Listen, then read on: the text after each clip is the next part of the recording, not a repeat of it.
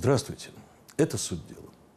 Всю войну внешнеторговые расчеты шли скрупулезно по всем канонам бухгалтерии мирного времени. Когда немецкой подлодкой был потоплен британский крейсер «Эдинбург», шедший в апреле 42-го из Мурманска в Англию с грузом 5,5 тонн советского золота для оплаты поставок военных материалов, Госстрах СССР выплатил Госбанку СССР страховку в размере 6 миллионов 300 тысяч долларов, а советский Госстрах по полагающимся расчетам получил из Англии причитающуюся долю страховки в размере 2 миллионов. Вот так. Война войной, а бухгалтерия работала как положено. Всю войну шла торговля даже со странами далекой Латинской Америки. Номенклатура советского экспорта в тот регион порой удивительна. Например, 99% стоимости советского экспорта в Бразилию составило пихтовое масло, а Колумбия и Куба всю войну покупали у нас, пусть и в небольших объемах, бочковую икру, драгоценные камни и книги. Мексика купила у нас за те трудные годы товаров на скромные 868 тысяч рублей. И чуть более половины этой суммы составили элитные меха. Особый интерес представляет торговля СССР со странами Европы. Как это не покажется странным на первый взгляд, но лидером была маленькая Болгария. До 1944 года, пребывая в союзе с Гитлером, она сумела почти совершенно не пострадать от войны – особенно по сравнению с теми странами Восточной и Центральной Европы, где проходила линия фронта. С конца 1944 и до конца мировой войны Болгарское королевство успело купить в СССР товаров на 240 миллионов рублей. Половину стоимости советского экспорта составили металлы, каучук и хлопок. Для сравнения, Советский экспорт во Францию за тот же срок после ее освобождения от немцев был на порядок меньше, всего 25 миллионов рублей. Из них 22 миллиона были поставки нашего льна. Удивительно. Но за 1945 год Союз успел подорговать даже с Италией, где только что повесили Муссолини.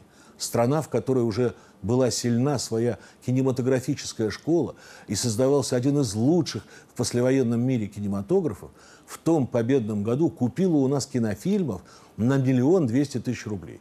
Это 99% стоимости всего советского экспорта в Италию за годы войны. Любопытно, что находившаяся под боком Союза нейтральная Турция за годы войны купила у нас минимум товаров, всего чуть более чем на 4 миллиона. Из этой мизерной суммы почти две трети составил советский бензин. Но наша страна за те годы купила у турок еще меньше, всего на 2 миллиона рублей.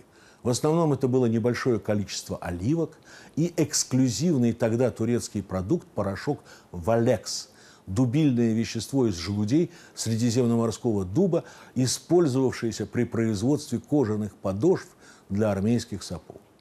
Из всех соседних нейтралов за годы войны самым выгодным для нас оказался Иран. Его северную часть тогда контролировали наши войска. Так вот, с 22 июня 41 и до конца войны Иран купил у нас товаров на полмиллиарда рублей, на порядок больше, чем богатые шведы. В основном иранцы покупали сахар и ткани. Как это не покажется странным, но десятую часть стоимости поставок в Иран из СССР тогда составили нефтепродукты – мазут, керосин и бензин. Для характеристики внешней торговли Советского Союза в годы войны полезно взглянуть на статистику поступления живой наличной и безналичной валюты в нашу страну за 1944 год, в самый разгар боев. Ровно половину такой валютной выручки для нашего государства тогда дали всего четыре страны.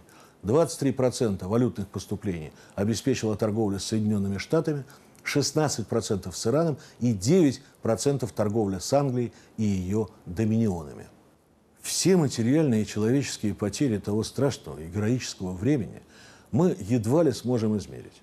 Но чисто бухгалтерские расчеты всегда конечны. Закрыть счета, связанные со Второй мировой, Советскому Союзу помешала новая война, холодная. Споры советских и американских представителей по поводу расчетов задолженности за ленд-лиз продолжались четверть века. Только в 1972 году Москва и Вашингтон согласовали сумму долга. СССР тогда обязался к 2001 году выплатить 722 миллиона долларов с процентами.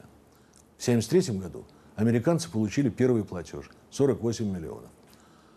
После распада Советского Союза все долги по ленд-лизу унаследовала Российская Федерация.